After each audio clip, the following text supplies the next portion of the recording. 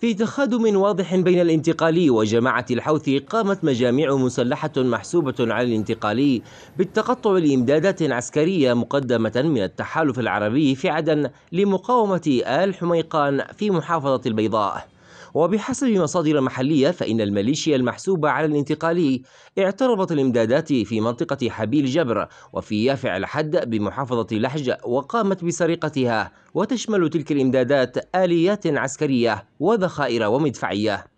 وقالت المصادر أن مدير أمن لحج المحسوب على الانتقالي صالح السيد وقائد قوات الحزام الأمني جلال الربيعي أصدرا أوامر للقوات التابعة لهما في منطقة يافع الحد بمنع مرور التعزيزات لمناطق آل حميقان بمحافظة البيضاء التي تخوض مواجهات شرسة مع ميليشيا الحوثي. وتعد واقعة الاحتجاز للتعزيزات السعودية الثانية من نوعها خلال 48 ساعة بعد احتجاز تعزيزات مماثلة للواء الأمجاد شرقي محافظة أبين وأصدر تحالف قبائل يافع بيانا نفوا فيه المسؤولية عن سرقة الإمدادات السعودية وحملوا ميليشيا الانتقالي في منطقة ردفان المسؤولية عن ذلك التي كان مدير أمنها قد حمل في بيان سابق عناصر مسلحة قال إنها تنتمي ليافع حملها المسؤولية عن الحادث.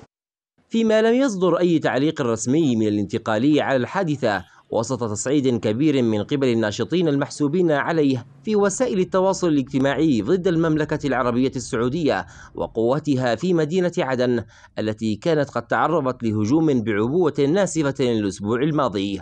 ويخوض الجيش الوطني معارك شرسة مع ميليشيا الحوثي في محافظة البيضاء التي كانت تشهد هدوءا منذ سنوات وسط حديث عن تقدم للجيش الوطني في عديد من الجبهات. وبحسب بيان عن المركز الإعلامي للجيش الوطني فإن الجيش تمكن من تحرير جبال الغدير والوليد والقائد غرب سلسلة جبال البياض في جبهة الملاجم